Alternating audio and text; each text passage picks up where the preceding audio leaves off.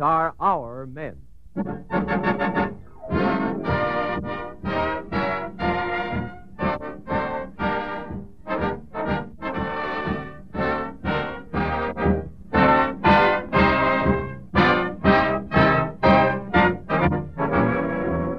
The Parker Watch Company and its dealers throughout America dedicate this program to the United States Treasury Department for the sale of war bonds. With Jean Hersholt as our special guest today, we proudly present another in this series of dramatic programs. These are our men.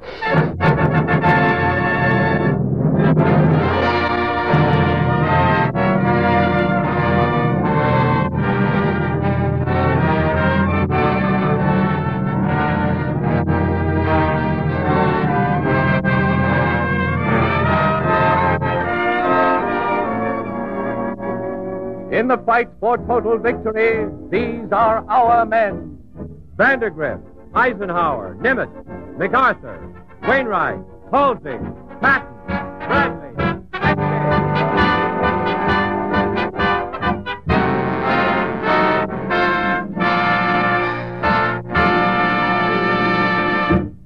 Today we give you one of the least known yet most powerful of all the leaders of the armed forces of the United Nations. The Commander in Chief of the United States Fleet and Chief of Naval Operations, Fleet Admiral Ernest Joseph King.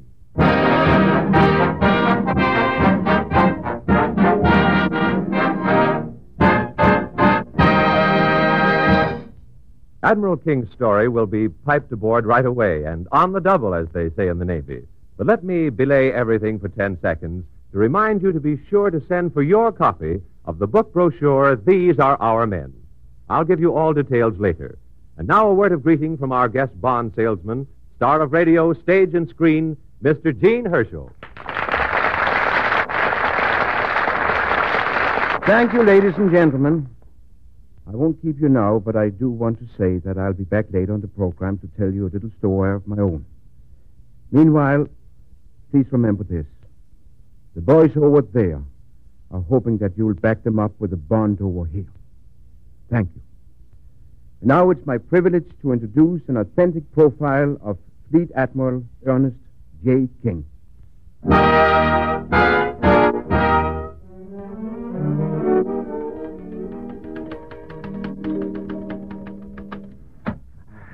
Authentic profile of Fleet Admiral Ernest J. King. That's what Mr. Hersholt just said. I'm sure he said it in all honesty, but he was wrong. I know because I'm a radio writer and I wrote this so called authentic profile. Uh, now, don't get me wrong. I want you to listen to it. But, well, it all started when I was called into the NBC editor's office to discuss I an make assignment. myself clear, not merely a picture of the admiral. I want a picture of the man, uh, what he likes for breakfast, uh, how many cigarettes he smokes a day, um, the name of his favorite movie, uh, what he does for relaxation, you know that sort of thing. Mm-hmm. Now, when can you get down to Washington and see him? Well, I can leave today, I suppose. This afternoon on the congressional. Good, good. Uh, now, just uh, one other thing. Yes? King is what the Navy calls a taut ship man, a disciplinarian. He'd as soon chew up a rear admiral as an ensign. Now, I happen to know that he doesn't like personal publicity. Uh-oh. Uh, But don't let that stop you. Get the story. I'll uh, let Washington know that you're on the way. and I'll be expecting you.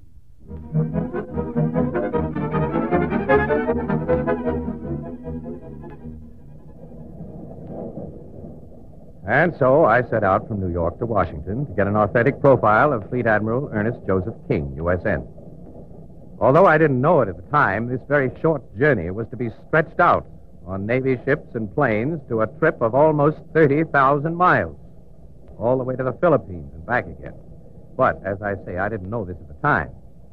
So going down on the train to Washington, I phoned up on King's naval career.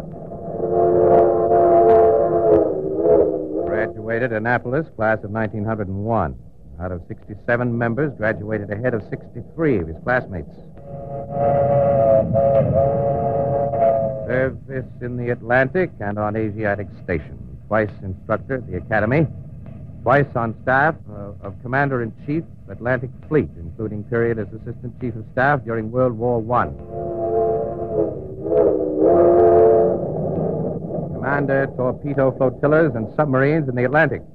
In charge of salvaging the sunken subs S1 and S4. Next up, Washington. Captain King as naval aviator, as commander of a seaplane tender, as skipper of the carrier Lexington.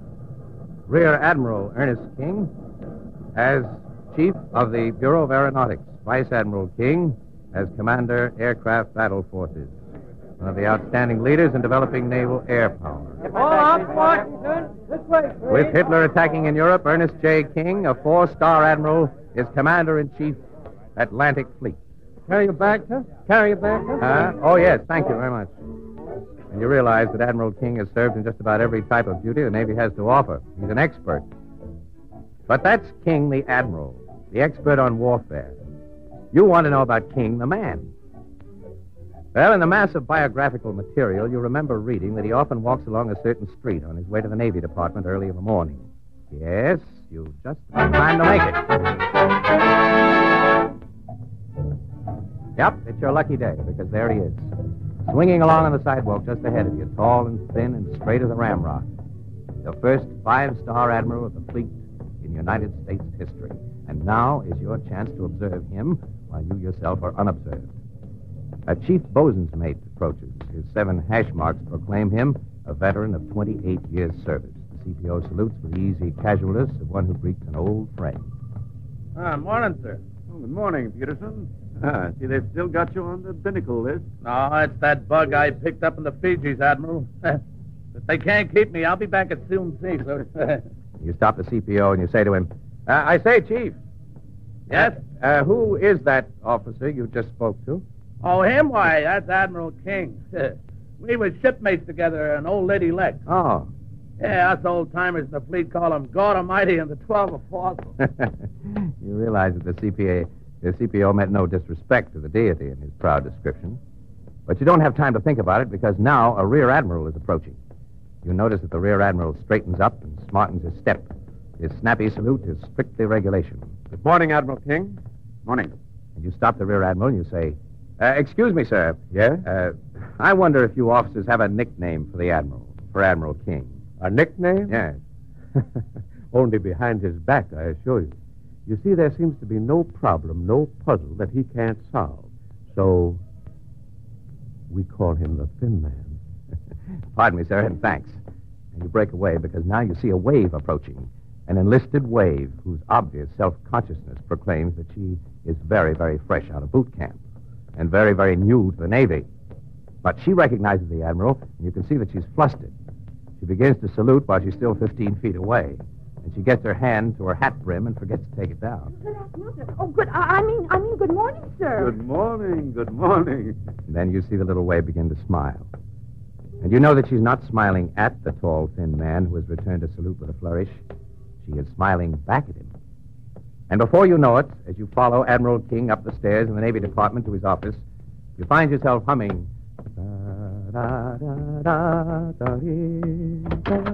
You open the door, and you're in Admiral King's busy office. I'm sorry, sir. I'm in a meeting with Joyce. You find yourself talking to a commander, one of Admiral King's aides, a young submariner with ribbons on his chest from here to there. I see. Uh, you mean a story like the ones you see in a fan magazine? huh? Well, yes. no, the Admiral wouldn't like it. But Admiral King's got a lot of fans, Commander. 130 million of them. and this would be, well, it'd be good publicity for the Navy. Admiral King has always said, sir, that if the Navy does its share in winning the war, and more than its share if it can, well, that's good publicity for the Navy. That's true, but the American people want to know about Admiral King. They have a right to know. Granted, granted, you're exactly right, and it's your duty to tell them. What I'm trying to suggest to you is that you're going about it in the wrong way. Why? What do you mean? Well, it's a little hard to put into words. I guess it amounts to the fact that Fleet Admiral King considers that his story is not merely the story of one man. But but I don't understand. Well, now, I've written out a list of places here Now, I want you to go to those places. But, Commander. That's right. I want you to go to the places on that list. Well- Take a uh, look at what you see at those places. Talk to people, ask questions. When you come back, maybe you'll understand a little better that Fleet Admiral King's story isn't merely the story of one man.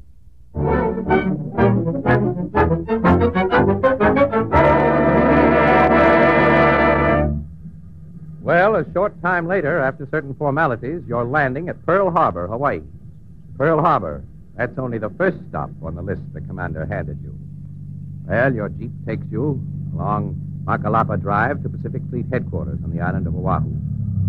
You open a door, and pretty soon you're talking to a vice admiral who offers you. Here, have a cigarette, sir. Uh, wha- You smoke, don't you? Yes, I smoke, but these days with cigarettes so hard to get. well, things must be getting tough back in the States these days. Here, won't you have this pack? you mean you have some more? Sure. You see, the Navy believes, and I'm sure the Army does too, that a man who fights should have the things he's used to. Right? Yes, thank you. Yes, we believe that he should have the things he needs and wants. You see, good food, good clothing, good equipment. When a man is offering his life for you, that's the least you can offer him. All the cigarettes they need, boy. Uh, but uh, that's what I want to talk to you about. Who's responsible, and I mean ultimately responsible, for seeing to it that the men in the Navy and the Coast Guard and the Marine Corps get what they need and want? Admiral King is, of course. That's what I thought you'd say. Yes, he is the final responsibility. But Admiral King is perhaps best noted for two qualities. One is his ability to delegate responsibility. The other is his demand that the men under him be able to accept responsibility, to exercise this responsibility with initiative and boldness. I well remember the day Admiral King told us about his theory of calculated risk. It was shortly after Pearl Harbor, and he had called us in for a conference. All of you who know me, gentlemen, know better than to expect a speech from me. I don't go in for oratory. You all know the gravity of the situation which now faces us. The Japs have swept over the Philippines, moved down the Malay Barrier, and have invested the Dutch East Indies. They are now moving eastward into New Guinea. They must be stopped. Now, I draw a line on this chart of the Pacific. From Midway, the line runs to the Hawaiian Islands, southwestward, athwart the Hebrides and the Solomons, to Port Moresby in New Guinea. We will stop them on this line. But, Admiral, sir, how? For years, we have taught our officers to accept responsibility, to make decisions, and to act on those decisions. This training should now pay dividends. But as a result of the damage to our fleet and the many demands being made upon it, our officers must operate on the theory of calculated risk. Admiral, uh, would you mind explaining that theory again? Perhaps some of the officers here are not familiar with it. Calculating risk? Well, what it amounts to is simply this. In every battle plan, in every campaign, in every attack, let's be sure that we hurt the enemy worse than he hurts us, whatever the cost. Let's be sure that anything we have to pay will count as part payment on final victory. That's all, gentlemen. Well, that's the way Admiral King gave it to us on that day. I think you'll agree we haven't done too badly. We fought a major war in the Atlantic, the Mediterranean, on all the seas and oceans of the world. That's true. But tell me this, sir. After Admiral King drew that line on the chart, where did you finally stop the Japs? Well, at several places. Battle of the Coral Sea was the beginning. Mm-hmm. We did better at Midway. And I would say, well, I suppose we really stopped them at Guadalcanal. Thank you, Admiral. Thank you very much indeed. Well, what's this? Are, are you rushing off? Right. I'm off for Guadalcanal.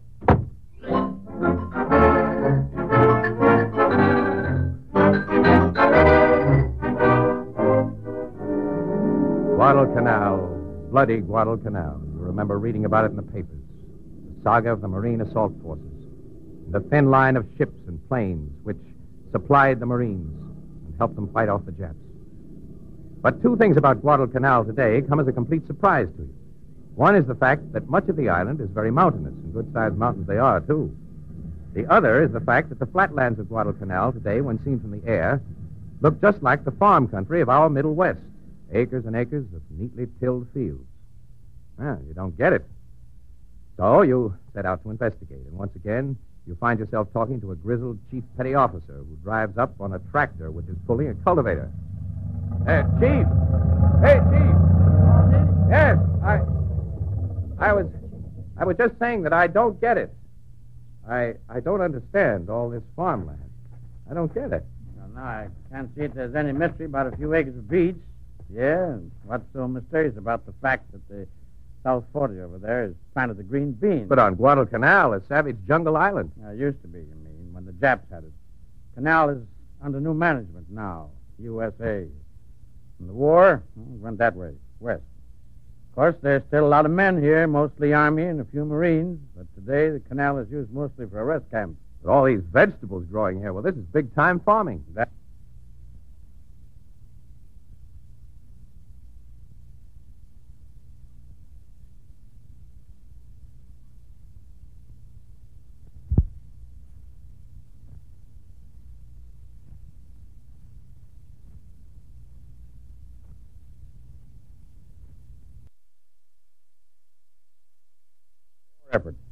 Hauled nothing but vegetables. Ships that are still very badly needed in the Atlantic. Yes, I can see that. It's very plain. Now, you've heard that song they sing on the radio about the San Fernando Valley? San oh, yes. All right. I'm willing to bet you a Jap officer's saber against a plug five yen that we grow better vegetables right here in the canal than they grow in the San Fernando Valley or any other valley.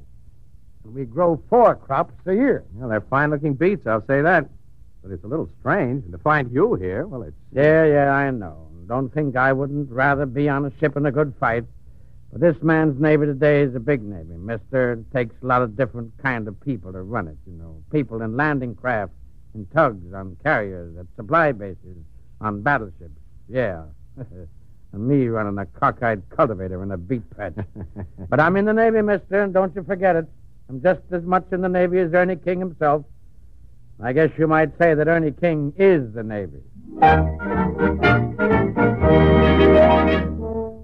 And so you travel on by jeep, ship, and plane.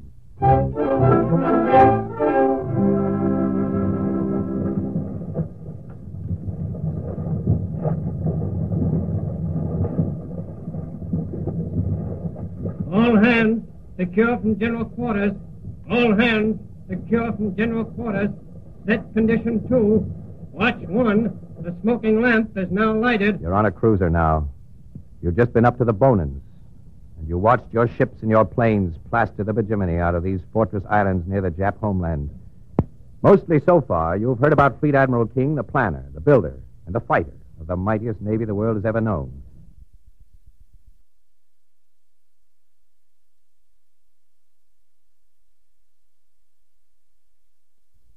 Found the wardroom table over coffee, and you slyly turn the conversation toward King, the man.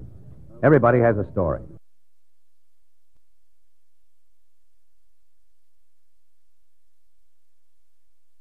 Story is tough, but only if you're not on the ball when you're supposed to be. And if you're not, brother, you'd better stand from under. And another officer describing Fleet Admiral King's famous brusqueness points out that the Admiral could also be funny when he chose, in a salty, hard bitten kind of way, of course. And once, so this officer's story goes, a visiting Admiral was creating an uproar in King's anteroom in Washington. The King looked around with an annoyed expression and said to his aide, Hey, what's he doing out there? He's uh, talking to New York, sir. Well, tell him to use the telephone. And then another officer tells of an incident which occurred when he was attached to Admiral King's staff. In January of 1943, it was. And as the officer talks, you see King seated at his desk, painstakingly answering a letter he received from a Brooklyn schoolgirl. You say in your letter that your teacher has given you the assignment of writing my biography for your English course. I am sincerely honored, and I am happy to answer the questions you ask. I drink a little wine now and then. I smoke about one pack of cigarettes a day. I think I like Spencer Tracy as well as any of the movie stars. My hobby is crossword puzzles when they're difficult. My favorite sport is golf when I can get to play it. Otherwise, I'm fond of walking. I sincerely hope this information will be of help to you, and I remain yours truly, Ernest J. King.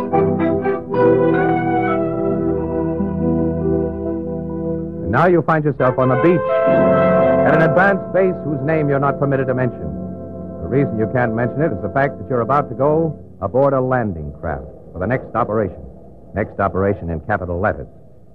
You don't know what the target will be, and you won't know until you get there. Maybe Luzon, or Manila, or Bataan. But you know it's going to be tough. And you hope it'll be tougher on the Japs than on you. As you sit there in the darkness waiting, a Marine and a Seabee are talking. Well, we're off again, Mac. I hope we get back. Yeah, I hope, I hope, I hope. You know which one is the Marine, because in the Pacific, every Marine is known as Mac. Hey, Mac. Are you scared? Sure. Scared stiff, just like always. Yeah, that's right, you. You hit more beaches than I have. But tell me, were you were you scared every time? Sure. Guadal, Bougainville, Chihuahua, Guam. Scared stiff every time. Hey, Mac. Yeah? What do you suppose we're fighting for? You got me. I don't know. Nah, I don't know either, I guess. Unless maybe. Well, I lost a lot of buddies when we hit those beaches I just told you about.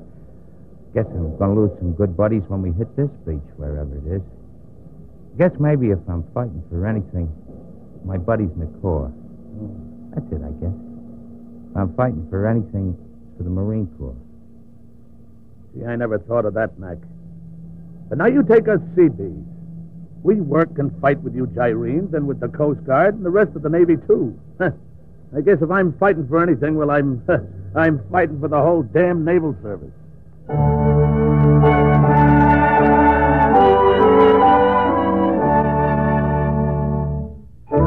Well, after that, I go back to Washington. And I go to the Navy Department. Soon I'm talking to the Naval Commander in Admiral King's office, the one who gave me the list, and told me to go and find out what the Navy was all about. I don't quite know what to say to the commander as he greets me. Well, I see you're back. Yes, Commander. I went to those places you told me to see. I think I know why Fleet Admiral King feels that his story is more than the story of one individual. Good, good. I hoped you'd learn something about the Navy. Well, uh, that's just it. I learned it, but I doubt if I can tell the public. Hmm? You see, the Navy is not one man or many men. The Navy isn't a lot of ships or planes or bases. It's, well, it's a feeling. It's a loyalty to an ideal and a tradition. It's a determination to live up to something that's a part of you and yet is bigger than you are. It's a. But I ask you, Commander, how can you tell anybody that? Perhaps you're being a little too ambitious. I think Admiral King has already said it for you, in much simpler words, of course. But listen, America's top admiral is speaking. Fleet Admiral King himself.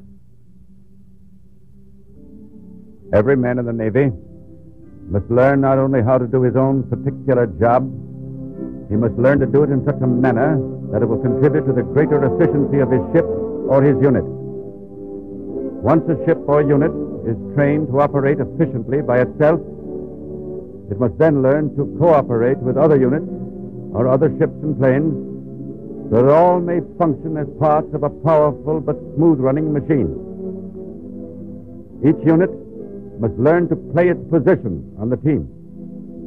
And the whole team must be equipped, coached, drilled, and taught to fight and win at any time and anywhere in the world.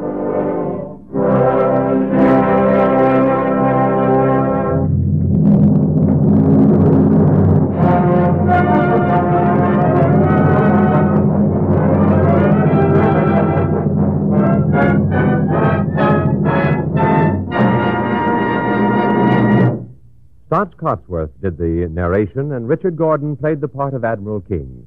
Our thanks to both of them for a fine job. And just one word of explanation, ladies and gentlemen. That 30,000 mile trip Mr. Cotsworth spoke of, it was really made by the man who wrote today's script. Now here's our special guest again, beloved star of screen and radio, Jean Hersholt. Thank you, thank you very much. Now that you've heard the story of a great man, I want to tell you this story of a great lady. A lady I'll never forget as long as I live. She has the unusual first name of Katrinka. I met her at a bond rally some time ago, and she bought one ten cent stamp from me. So you can see this lady is not very wealthy. And she's not very beautiful either, the way most of us know beauty. She is winsome, though, and very sweet. And what's more important, She's given America more than the richest banker ever could give. Although she's completely unaware of it. Now, from that, you might suspect that Katrinka is stupid. Well, she's not. She's just very young. Katrinka is not quite five. And she bought a 10 cent stamp from me at a bond rally. Oh, it meant giving up a lot of childish dreams involving very sweet candy to give that 10 cents to the United States. But she gave it. She knows that she can feel very proud about her gift to her country. But what she doesn't know is that she also gave her daddy to America. He was killed at Guadalcanal when Katrinka was two. And with him died a lot of dreams and plans that a loving couple had made for a child's future. One day soon, Katrinka is going to notice that other children have daddies and that she has none. She's going to ask a lot of questions, and her mother will have to try to explain as best she can. And I, for one, am happy that I shall not have to be present during that explanation. Well, that's all there is to the story of Katrinka. It's not very exciting, I know. But I thought maybe you'd like to hear it. And to assert that you will do all in your power to see to it that hundreds of thousands of other daddies come home to the babies they left behind. A good way to do that is to never skip a payday without buying a bond. Once you bought them, never to cash one in until maturity. Will you do it for a Marine who died at Guadalcanal? And for a little girl named Katrinka? Thank you. Thank you, Jean Hersholt.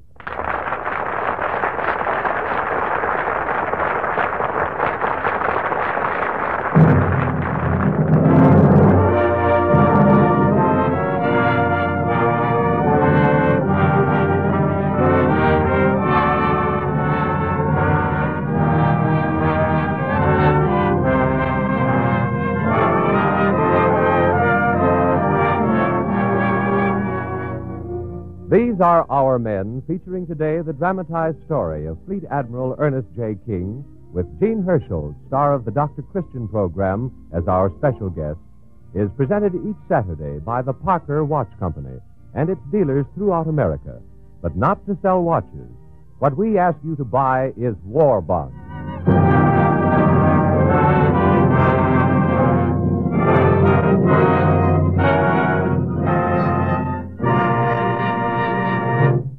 Now, a word about the book portfolio I mentioned at the beginning of the program. Have you sent for your copy yet? It's a wonderful booklet in brilliant colors containing the pictures and biographies of all the great American war leaders being dramatized on this series of programs. And in combination with it, a portfolio for the safekeeping of your war bonds, as well as a handy chart for recording the serial numbers of your bonds. The Parker Watch Company offers this ingeniously designed kit for the mailing and wrapping cost of 10 cents in coin. It's something you'll be very proud to own. So for your copy, send 10 cents in coin to cover cost of mailing and wrapping and address your request to the Parker Watch Company, Post Office Box 14, New York 19, New York. That address again is the Parker Watch Company, Post Office Box 14, New York 19, New York. Next week, these are our men will bring you the authentic story of that great hero of the Pacific, General Douglas MacArthur, with Ralph Edwards as our special guest. Be sure to tune in. Same time, same station.